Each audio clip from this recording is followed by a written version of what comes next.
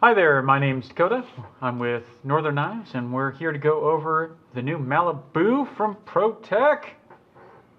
Let's get into it. Let's get started. You know, after my energy, we're going to do that.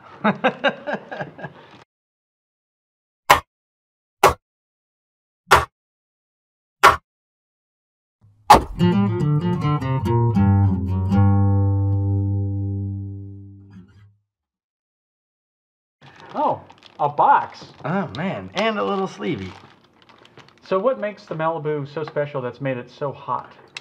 20C fucking V, And which that- is a first. And uh, so I don't, I can't believe that that's not ball bearing. I we should have taken this apart. I did not. I'm ill prepared for this, but It may. oh, it, it totally is. It is okay. It is. Okay, so 20CV is a.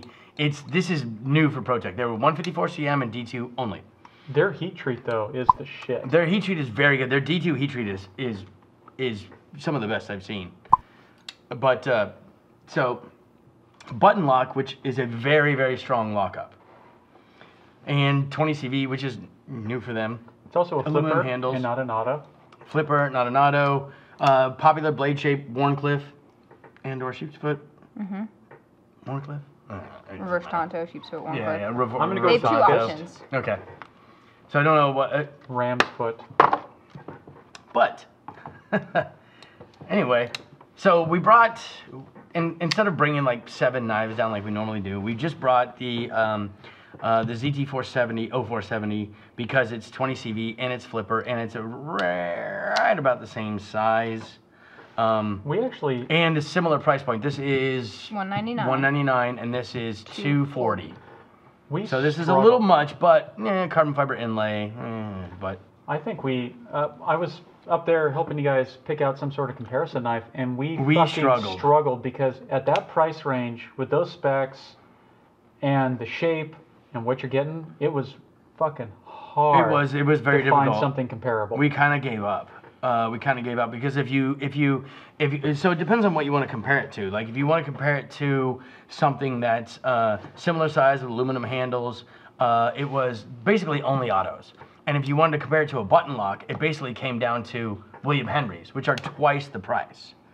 So it came down to basically we're going to compare it to this because it's in the uh, same price range, same kind of materials, But it's but it's American just SKUs. but it's murdering on sales wise because they just hit a niche that nobody's really hitting.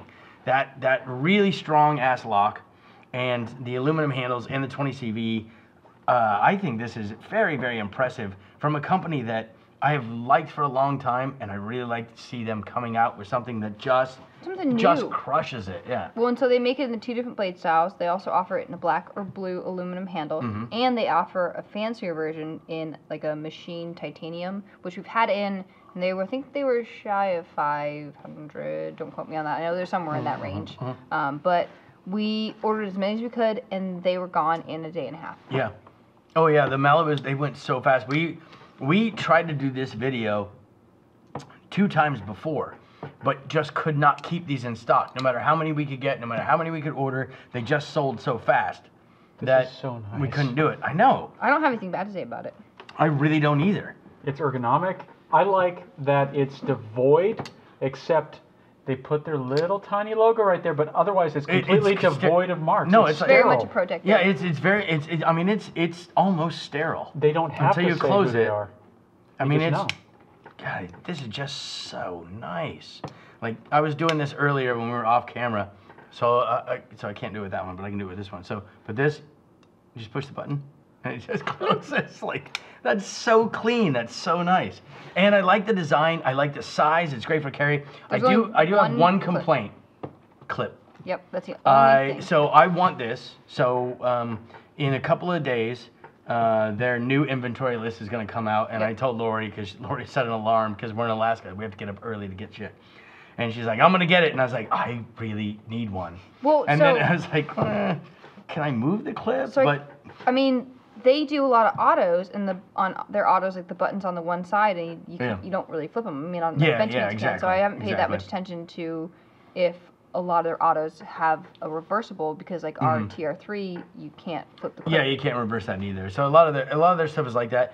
And I thought, well, okay, that's no problem. It, I mean, it's aluminum. I can drill it, tap it, and move it to the other side.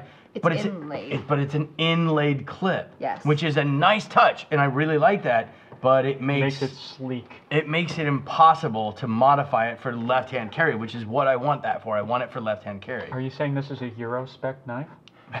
Well, no, it's a right-hand spec knife, so it's so serial killers and psychopaths probably won't be able to carry it. I do like how there's just the two little uh, Screws, screws on Yeah. the one side. It's a super clean design. Super clean design. Very design. much ProTech. It's Yeah. not busy. I like it. It their design language is The design language is Efficiency. phenomenal. It It's is. great. It's very pragmatic.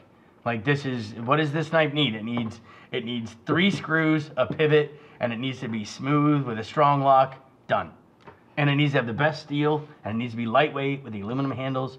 I think this is an absolute killer for I love that I'm so he happy Still that they did uses this. a Allen An Allen key? for this. Yeah. Yeah, I mean, we we've we've had a long, long relationship with uh, ProTech before. Uh, when we were off camera, I was talking about um, when I first started to learn how to machine. I was having some issues and problems, and I've had a couple of. Um, oh There's no, the wait, steel. that's a nice touch. oh, that's a So great the, place the to put steel it. is on the back of the flipper. Nice. So I've had a couple of long conversations with Dave. Uh, Dave Wattenbarger is who owns ProTech.